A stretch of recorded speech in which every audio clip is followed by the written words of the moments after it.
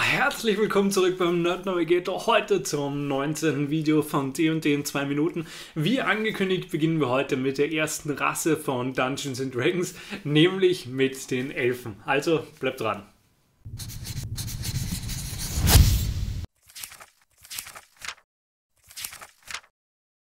Eine allgemeine Beschreibung von den Elfen kann ich jetzt, glaube ich, an dieser Stelle weglassen, weil vermutlich die meisten von uns schon mal Filme wie Herr der Ringe gesehen haben, irgendwelche Fantasy-Literatur gelesen haben, vielleicht die Shannara Chronicles oder ähnliches und dementsprechend wissen, wie Elfen aussehen. Also das Wichtigste, was dein Charakter mal als erstes bekommt, wenn du dir einen Elf aussuchst, ist, dass du eine plus 2 auf deinen Geschicklichkeitswert dazu bekommst.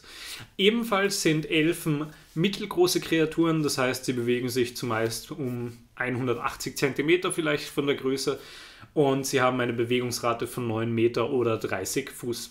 Vom Alter her bist du als Elf ungefähr im gleichen Zeitraum erwachsen wie Menschen, also so 16 bis 18 Jahre vermutlich, und du kannst bis zu 750 Jahre alt werden.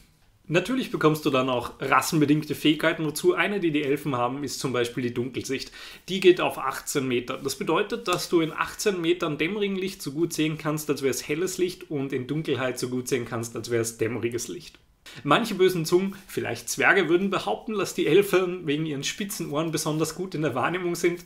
Dementsprechend bist du in der Fertigkeit Wahrnehmung geübt.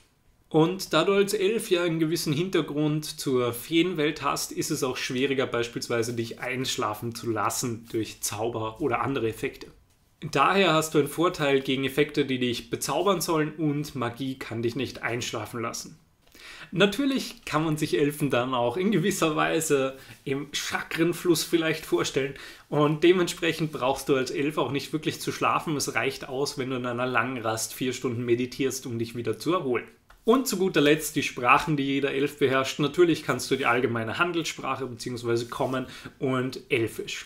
Das war es auch schon wieder mit dieser ersten Folge von D&D in zwei Minuten, bei der wir die Rassen behandelt haben. Ich hoffe, es hat euch gefallen. Ich konnte euch die Elfen wirklich kurze Zeit erklären und wir sehen uns morgen wieder, wenn wir mit der nächsten Rasse, nämlich den Zwergen, weitermachen.